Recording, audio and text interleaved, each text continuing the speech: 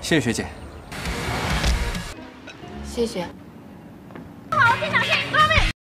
Welcome back rocket स्वागत है आपका स्वीट कॉम्बैट के अगले पार्ट में कहानी को पूरा देखने के लिए पिछले एपिसोड जरूर देखेगा पिछले एपिसोड में मिंग टैन ने अपना पूरा टाइम टेबल मिया और जाओमी को पकड़ा दिया था अब उसको देखकर वो चौंक जाते हैं क्योंकि उसमें खाने के टाइम के अलावा और कोई फ्री टाइम होता ही नहीं अब वो मिंग टैन को किस वक्त ट्रेन करेंगे? इस बारे में वो काफ़ी सोच रहे होते हैं। और तभी मियाँ टाइम टेबल को बड़ी बारीकी से रिसर्च करके देखती है और बड़ी मुश्किल से उसको एक फ्री टाइम मिल जाता है। और फिर वो खुशी से उछलती है कि इस टाइम में मैं उसको ट्रेन करूँगी। अब इस पर जाओमी कहती है कि, नहीं नहीं, उसको मैं ही ट्रेन करूँगी। और इस तरह ये दोनों झगड़ने लगती है। अब मिंगटाइन आइसक्रीम शॉप में रैबिट के भेस में काम कर रहा होता है। तभी वो फेंग्यू को आते हुए देखता है और वो तुरंत चेक करता है कि शॉप में स्ट्रॉबेरी आइसक्रीम है या नहीं। लेकिन वहाँ पर एक आइसक्रीम बची होती है और वो काउंटर को मैनेज करती हुई लड़की से कहता है कि वो इकलौती स्ट्रॉबेरी आइसक्रीम किसी और को ना दे और उसको फेंग्यू के लिए रिज़र्व करके रखे और वो बेचारे भी मान जाती है। फिर मिंगटाइन बाहर जाकर नोटिस मारने लगता है। अब फेंग्यू आकर स्ट्रॉबेरी आइसक्रीम मांगती है। तो काउंटर पर खड़ी लड़की कहती है कि सिर्फ़ एक ही आइसक्रीम बची हुई है। आप बहुत ही खुशकिस्मत हैं जो एन वक्त पर आ गई, वरना तो मिलती नहीं आपको। बाहर जो रैबिट के भेस में नोटिस बांट रहा है, उसी ने आपके लिए आइसक्रीम रिज़र्व करके रखी थी। अब ये सुनकर फेंग्यू बड़ी हैरान होकर रैबिट को देखने लगती है और फिर उस आइसक्रीम को बहुत ही मज़े लेकर खाती है। लेकिन वो अब भी नहीं जानती कि रैबिट सच में मिंगटाइन ही है। लेकिन मिंगटाइन फेंग्यू को छुप देखता रहता है और उसे खुश देखकर खुद भी खुश होता है। अब अगले सीन में दिखाते हैं तो सुनहाओ और जाओमे के पापा एक बॉक्सिंग रिंग में खूब लड़ रहे होते हैं। जाओमे के पापा एक्सपर्ट्स वाले मूवमेंट्स करके सुनहाओ को हरा देते हैं और सुनहाओ को विश्वास ही नहीं होता और पूछता है कि ये मूवमेंट्स आपको किसने सिखाए? इन मूवमेंट से तो आप बॉक्सर को आराम से ला सकते हैं। अब जाओमे के पापा कहते हैं कि ये तो कुछ भी नहीं है। मेरे एक सीनियर हुआ करते थे और उन्होंने ही मुझे ये मूवमेंट सिखाए थे। लेकिन बदकिस्मती से अचानक वो चल बसे। अब इस दुनिया में इस मूवमेंट को सिर्फ़ मैं ही जानता हूँ। और दोस्तों, यहाँ पर हम गैस कर सकते हैं कि ये शायद मिंग टैन के पापा की बात कर रहे होंगे। लेकिन ये सच है या नहीं, इसका तो हमें बाद में पता चलेगा। अब सुनहावो भी उस मूवमेंट को सीखना चाहता है। और जाओमी के पापा कहते हैं कि मैं तुमको सिखाऊँगा, लेकिन इसमें कुछ कंडीशन भी हैं। तब जाओमी वहाँ पर आ जाती है। अब सुनहाओ को देखकर वो पूछती है कि तुम यहाँ क्यों आए हो? सुनहाओ कहता है कि तुम्हारे कॉलेज के टूर्नामेंट में मैं भी पार्टिसिपेट कर रहा हूँ, इसलिए तुम्हारे पापा से ट्रेनिंग लेने आया हूँ। अब वो अपने पापा को बड़े गुस्से से देखती है और बड़ा ही गुस्सा करती है। लेकिन वो कहते हैं कि ये तो तुम्हारा ही आइडिया था कि मैं स्टूडेंट्स को ट्रेन करके पैसे कमाऊं। अरे वो तो ठीक है पापा, लेकिन आप मेरे अपोनेंट को ही ट्रेन करेंगे क्या? अरे बेटा, वो तुम्हारा अपोनेंट हो सकता है, मेरा तो नहीं। अब जाओमी नाराज़ होकर चली जाती है। फिर जाओमे के बाबा कहते हैं कि तुम जल्दी से जाओमे के साथ सुलह कर लो। अब अगले सीन में फेंग्यू कॉलेज में होती है और उसे एक मैसेज आता है। उसमें टूर्नामेंट का स्केड्यूल होता है। फेंग्यू का प्लान था कि मिंग टैन डायरेक्टली फाइनल में उससे मुकाबला करे, लेकिन इस स्केड्यूल के अनुसार मिंग टैन को कई क्वालिफाइंग मैच खेलने होंगे, और तभी जाकर वो फाइनल्स में पहुँच पाएगा। और ये देखकर फेंग्यू बड़ी चौंक जाती है कि ये जीतेगा कैसे अब। अब ये शेड्यूल नोटिस बोर्ड पर भी लगा होता है, और सुनहाओ और अकड़ू उसको देख रहे होते हैं। अकड़ू कहता है कि, गुरु, हम दोनों ग्रुप ए में हैं, इसलिए हमारे मैचेस में आप मुझको धीरे से मारना ओके और फिर मिंग टैन का नाम देखकर वो कहता है कि, ये लड़का एकदम बेकार है बॉक्सिंग के बारे में कुछ भी नहीं जानता। पता नहीं ये इस टूर्नामेंट में कैसे आ गया। अब सुनहाओ पूछता है कि, क्या तुम मिंग टैन को जानते हो? और अकड़ू कहता है कि, जानता हूँ, वो मेरे साथ ही हाई स्कूल में पढ़ता था। दरअसल वो मेरे साथ ही बैठता था और मेरा स्कूल बैग भी वही उठाता था। और तभी मिंगटैन वहाँ से गुजरता है और अकड़ू उसको बुलाता है, लेकिन वो इग्नोर करके चला जाता है। अब अकड़ू भागकर उसको रोकता है और कहता है कि, कल की मार भूल गए क्या बच्चू? घुटनों पर बैठकर तुम कल गिड़गिड़ा रहे थे कि छोड़ दो छोड़ दो। और आज इतना एटीट्यूड कैसे दिखा रहे हो? और तभी कोई आकर उसकी उंगली मरोड़ता है। ओ ये तो फेंक्यू निकली। वो गुस्से में कहती है कि, मिंगटैन पर हाथ रखने की तुम्हारी हिम्मत कैसे हुई? जेंगजी कॉलेज का रूल है कि हम अपनी पावर बाहर के लोगों पर यूज़ नहीं कर सकते। अगर ऐसा किया तो हमें बहुत ही खतरनाक पनिशमेंट दिया जाता है। और अगर ये रूल नहीं होता तो इस वक्त तुम्हारी उंगली टूट जाती, समझे? अब उसकी धमकी को सुनकर सुनहाओ अकुड़ू की तरफ़ से माफ़ी माँगता है और मिंगटैन भी फेंग्यू को शांत करता है और कहता है कि तुम टेंशन मत लो, इस प्रॉब्लम को मैं खुद ही सॉल्व कर लूँगा। वैसे मैं भी ग्रुप ए में हूँ और बॉक्सिंग की ट्रेनिंग ले रहा हूँ, इसीलिए इसे मैच में मैं देख ही लूँगा। और ये कहकर मिंगटैन चला जाता है। अब सुनहाओ अपने कॉलेज में लौटता है और वो अकड़ू को बुलाकर वार्निंग देता है कि आइंदा किसी के साथ ऐसी हरकत की तो मैं खुद ही तुमको मार डालूँगा। वहाँ मिंगटैन फ्री टाइम में ट्रेनिंग कर रहा होता है, लेकिन वो काम के वक्त भी किसी भारी चीज़ को उठाकर फिजिकली स्ट्रांग बन रहा होता है। अब फेंग और फेंग जोहू कार में अपने दादाजी के फ्रेंड से मिलने जा रहे होते हैं।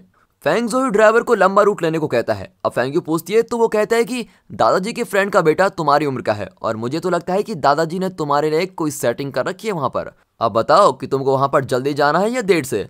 अब फेंग्यू को उसकी बात ठीक लगती है और दोनों मिलकर यहाँ जाओ, वहाँ जाओ करके ड्राइवर को बड़ा ही कंफ्यूज कर देते हैं और एक ही एरिया में बेचारे को गोल गोल घुमा रहे होते हैं। फिर दूसरी ओर मिंग टैन जिस होटल में काम करता है, उसका ओनर उससे कहता है कि तुम बहुत ही अच्छे लड़के हो और इसीलिए मैंने तुमको यहाँ पर नौकरी भी दी है। आज तुम एक बहुत ही बड़े वीआईपी को सर्व करने वाले हो, इसीलिए जरा ध्यान से करना। और ये कहकर ओनर चला जाता है। हालाँकि इसी होटल में फेंग यू और फेंग जोयू उनके दादाजी के फ्रेंड से मिलने आ रहे होते हैं। और दोनों की आते ही उनके दादाजी पूछते हैं कि तुमने इतनी देर कहाँ लगा दी? लेकिन उनके फ्रेंड इन दोनों के सपोर्ट में कहते हैं कि दोनों ट्रैफ़िक में फंस गए होंगे, इसलिए लेट हो गई। और फिर वे बातें करने लगते हैं। उनके फ्रेंड अपने बेटे को बताते हैं कि ये फेंग्यू है। याद है, बचपन में तुम दोनों साथ खेलते थे? उनका बेटा कहता है कि हाँ हम दोनों एक ही क्लास में बैठा करते थे। मुझे अच्छी तरह याद है कि फेंग्यू मुझको बहुत ही पसंद करती थी। अब फेंग्यू का वही फ्लैशबैक दिखाते हैं जो वो ज़िंदगी भर नहीं भूल सकती। बचपन में उसने अपने क्रश को गिफ्ट दिया था, लेकिन उसने बेचारे को पागल मॉन्स्टर कहकर सबके सामने इंसल्ट कर दिया था। और वो क्रश कोई और नहीं, यही लड़का है, इसका नाम शिवी है। उसकी बचपन की हरकतें याद करके फेंग्यू को शिवी से बहुत ही चिड़न होने लगती है, लेकिन वो कुछ नहीं कह पाती। और फेंग्यू समझ जाती है कि उसके दादाजी और उनके फ्रेंड इन दोनों का रिश्ता पक्का करवाना चाहते हैं। इसीलिए वह हवा खाने के बहाने बाहर जाने लगती है। और तब वहाँ पर मिंगटैन को देखकर उसे पता लगता है कि वो इसी होटल में काम करता है। लेकिन वो ऐसे बाहर चली जाती है जैसे वो मिंगटैन को जानती नहीं। फिर मिंगटैन कोई चीज़ लेने बाहर जाता है तो फेंग्यू सीढ़ियों पर बैठी कुछ सोच रही होती है। मिंगटैन उसको देखकर वहीं खड़ा रहता है, लेकिन तभी शेबी भी बाहर आ जाता है। अब वो फेंग्यू से पूछता है कि, क्या सच में तुम तो मुझको भूल गई? बचपन में हम दोनों कितने क्लोज फ्रेंड्स थे? और अगले हफ़्ते मेरा बर्थडे है, और मैं एक बहुत ही बड़ी पार्टी दे रहा हूँ। उसमें हमारे स्कूल के बहुत सारे फ्रेंड्स आएँगे। क्या तुम भी आओगी?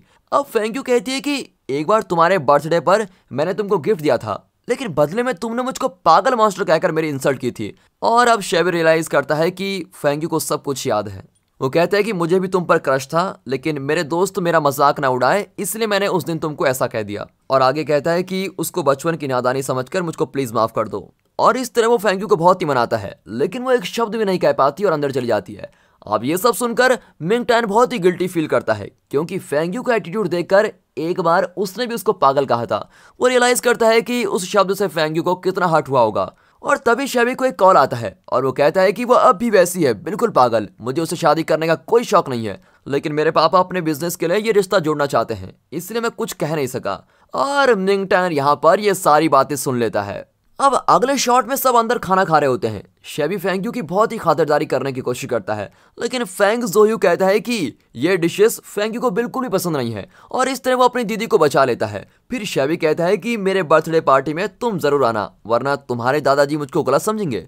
और इस तरह वो सेंटिमेंटली फेंग्यू को लॉक करने की कोशिश करता है। अब इसी बीच मिंग टैन वाइन को ग्लास में डालते हुए गलती से शेबी के ऊपर डाल देता है और वो चिल्लाने लगता है कि क्या तुम देख नहीं सकते? तुम्हारे मैनेजर को अभी बुलाओ, मैं कंप्लेंट करूँगा। अब मैनेजर आकर मिंग टैन को डांट कर भेज देता है और इन लोगों से माफ़ी माँगता है। और अब मौका पाकर फेंग्यू भी वहाँ से बच निकलती है।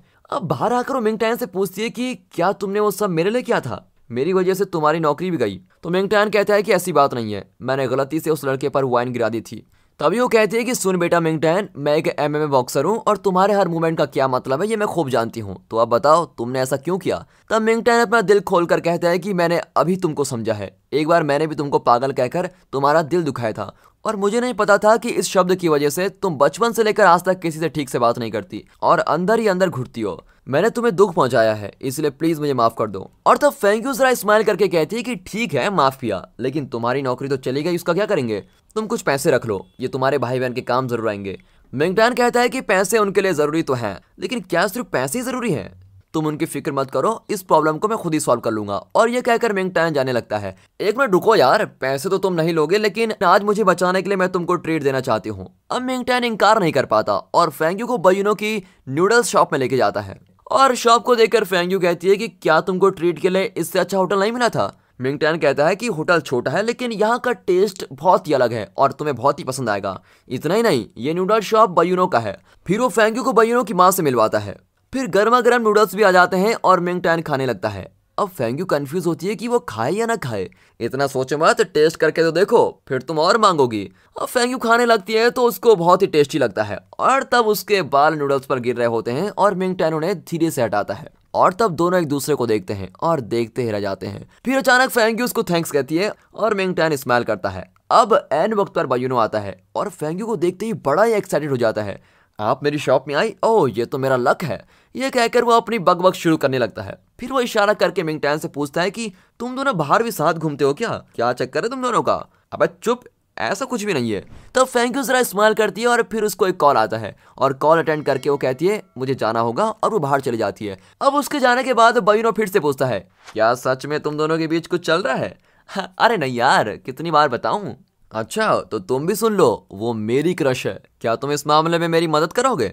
अब मिंगटैन भी ओके कह देता है। फिर घर आकर भी फैंग के सामने नूडल शॉप का वही सीन चल रहा होता है, जब मिंगटैन ने उसके बाल हटाए थे। लेकिन यहाँ कब भर जाता है और वो पानी डालती रहती है। अब ये देखकर फैंग ही पूछता है कि तुम कौन से ड्रीम वर्ल्ड में हो, दीदी? होटल से तुम बिना खाए चली आई। क्या तुम्हारे लिए कुछ बनाऊँ? नहीं फेंग जोयो, मैंने डिनर कर लिया है। मैंगटैन मुझको बाहर लेके गया था। और अब फेंग जोयू ठहरा एक जीनियस वो माइंड में पूरी कैलकुलेशन करके एकदम ठीक बता देता है कि उस दिन ऑफ़िस में जो फ़ूड डिलीवरी वाला लड़का आया था, वही है ना तुम्हारा मैंगटैन तुमने कहा था कि वो कॉलेज में तुम्हारा जूनियर है। हम्म मैं समझ गया। तो उसने जानबूझकर ही शवि पर वाइन गिराया था। और ये सुनकर फैंगी को शर्म जाती है। और वो कहती है कि तुमने ज़्यादा स्मार्ट बनने की कोशिश की तो मैं तुम्हें कार्ड्स खेलने नहीं बुलाऊँगी। और फिर तुम मेरी मार खाते रहोगे, समझे? नहीं बाबा स्मार्ट नहीं बनूँगा। लेकिन अगली बार तुम दोनों बाहर जाओ तो मुझे भी साथ में जाना। मैंने उस दिन उसे बहुत ही बुरा भला कह दिया था। इसीलिए मुझको जीजा जी से मिलना है और उनको सॉरी भी कहना है। अब यहाँ मिंगटैन का वही हाल होता है। वो फैंक्यू के बारे में सोच सोच कर पागल हो रहा होता है। और उसकी दीवी साइकिल को निहार रहा होता है। और दोस्तों, इसी के साथ ये एपिसोड यहाँ पर खत्म होता है। वाह, क्या एंडिंग थी।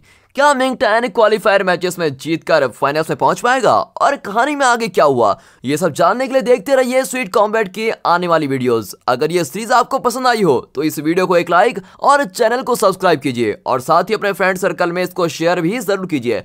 कॉमेंट्स में ये ज़रूर बताइए कि ये सीरीज़ आपको इतनी पसंद क्यों आ रही है। And finally thanks for watching